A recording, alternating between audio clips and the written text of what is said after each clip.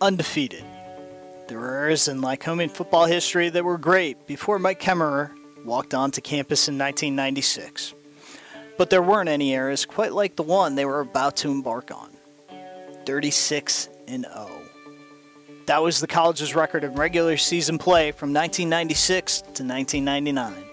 Four Middle Atlantic Conference championships, four trips to the NCAA Division III championships, two to the NCAA Division III semifinals, and one trip to Amos Alonzo Stagg Bowl, the NCAA Division III championship game.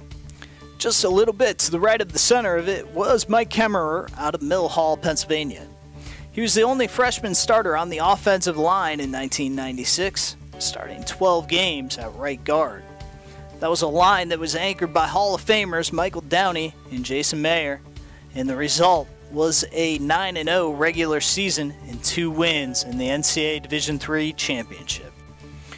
The following season was even better as the Warriors set single season records for rushing yards with 2,460, total offense 4,732 yards, all purpose yards with 5,815 yards, and scoring, putting up 362 points under the upfront push provided by Mike in the Warrior line, which led the team to another 9 0 regular season, and this time, thanks to an upset of Rowan in the national semifinals, a trip to the Amos Alonzo Stagg Bowl. In 1998, Mike, after the graduation of Downey and Meyer, came into his own as the leader of the line from his right guard spot. The Warriors set school records for passing yards with 275 per game and total offense with 418.8 yards per game as Mike was named the Downtown Wilkes-Barre Touchdown Club MAC Offensive Lineman of the Year, and he earned his first of two first team All MAC picks.